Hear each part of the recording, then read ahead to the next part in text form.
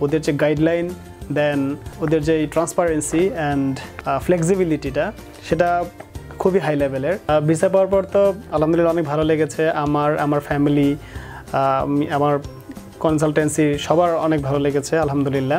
University বা হচ্ছে Dhaka college থেকে ঢাকা বিশ্ববিদ্যালয়ের আন্ডারে যে সাত কলেজ আছেন তারা ব্যাচেলর করেছেন মাস্টার্স করবেন উচ্চশিক্ষার জন্য অস্ট্রেলিয়াতে, তারা কিন্তু সানজেনে যোগাযোগ করতে হ্যালো আসসালামু আলাইকুম। হ্যালো এভরিওয়ান আবার চলে আসলাম অস্ট্রেলিয়ার একটা ভিসা সাকসেস স্টোরি নিয়ে। চলেন শুনে নিই। দৌলত হোসেন কীভাবে অস্ট্রেলিয়ার ভিসাটা পেল? সো দৌলত ভাই কেমন আছেন? এই তো আলহামদুলিল্লাহ ভালো আচ্ছা। আছে। ভাইয়া আপনার যদি আপনি ভিসাটা পেয়েছেন যদি আমাদের দর্শকদের জন্য ভিসাটা একটু দেখাতেন আর কি। This is my Australian visa আমি অস্ট্রেলিয়াতে কার্টিন ইউনিভার্সিটিতে মাস্টার্স কোয়ালিফাইং প্রোগ্রামের জন্য যাচ্ছি।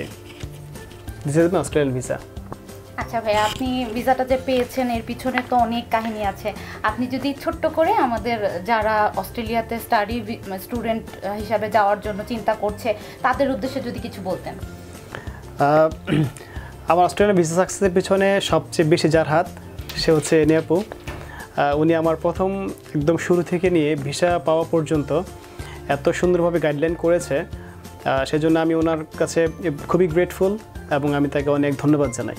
তো দর্শক, আপনারা যারা অস্ট্রেলিয়াতে স্টুডেন্ট ভিসাতে যাওয়ার কথা চিন্তা করছেন, যাদের IELTS six no less than five point five এমন আছে, তারা কিন্তু সানজেনে চলে আসতে পারেন।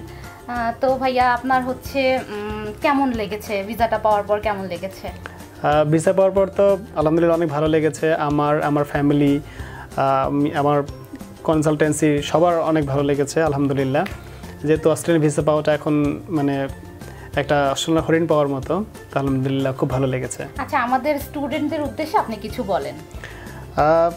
ফার্স্ট অফ অল আমি যেটা বলতে চাচ্ছি সানজান কনসালটেন্সি যেটা করে সেটা হচ্ছে যে ওদের যে গাইডলাইন দেন ওদের যে ট্রান্সপারেন্সি অ্যান্ড যে ফ্লেক্সিবিলিটিটা সেটা খুবই হাই লেভেলের আমি প্রথমে বলেছি এনিয়াপুর যে প্রথম থেকে যে গাইডলাইনটা ছিল সেটা আমার জন্য খুবই উপকার দিয়েছে। আর ফ্লেক্সিবিলিটির বিষয়টা হচ্ছে, সানজান আপনাদের কাছ থেকে কোনো কিছু হাইড করবে না।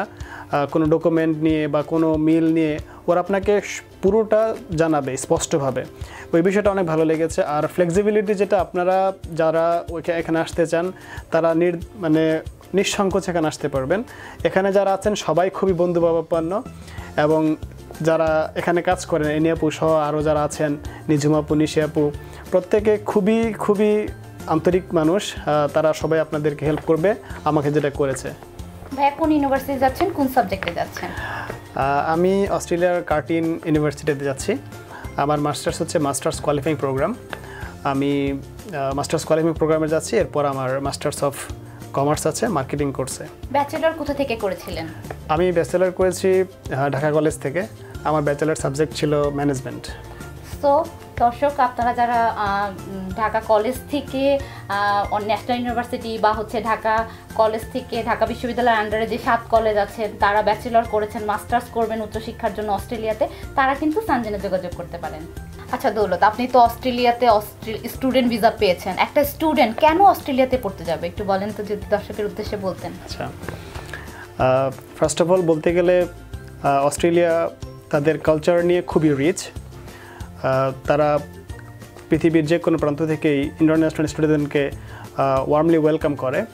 আর they provide top notch education তাদের যে ইনস্টিটিউশনগুলো আছে, সেটা বিশ্বের মধ্যে খুবই র্যাঙ্ক করা।